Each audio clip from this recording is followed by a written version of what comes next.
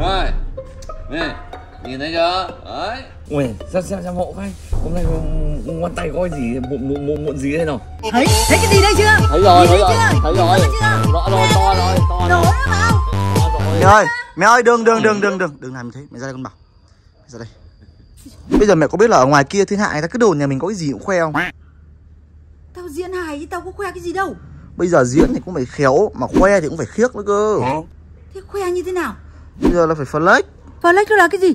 Là Chị Thái à, thế nhà chị có cần điều hòa không? Có chứ, trời nắng này mà không có ảnh nắng 5 triệu đâu. ồ. Em thì không có điều hòa để làm mát da mát thịt. Nhưng mà em có cái nút vàng để mát mày mát mặt mát mặt mát mày.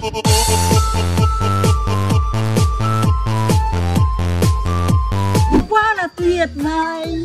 Khi mình chào nhau hello ảng đê bạn à bạn có biết như thế nào là người giàu không Cứ là nhiều tiền thì là người giàu. không không không nói thế chung chung quá bạn phải có cái gì rõ ràng là thước đo cơ Sẽ phải có vàng mới là người giàu.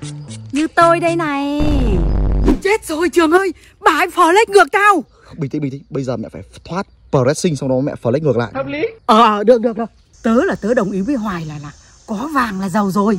Nhưng mà có vài ba cái sợi cái chỉ thì người ta chỉ gọi là giàu phong trào thôi. Nhưng mà có cả miếng như tớ đây này ấy, người ta gọi là giàu chân chính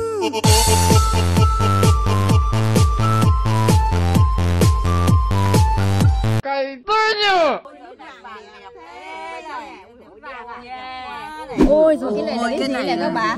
vàng cái này là nút tiền vàng. Ôi cái này á, ngày xưa tôi thấy bà Tân Viên Lốc với bà cũng được cái nút như thế này lại phải là tiền tỷ ấy các bà. Cái này nút vàng đây này. Không phải đâu các chị ơi các chị ơi cái nút vàng này này là không được cái đồng nào đâu Không được thì vứt mẹ đi đến thì làm gì? Ôi, quý lắm đấy Quý nhưng mà có được tiền đâu. em quý em cái nút này thì không có tiền nhưng mà trên hành trình đến cái nút này thì được rất nhiều tiền Thế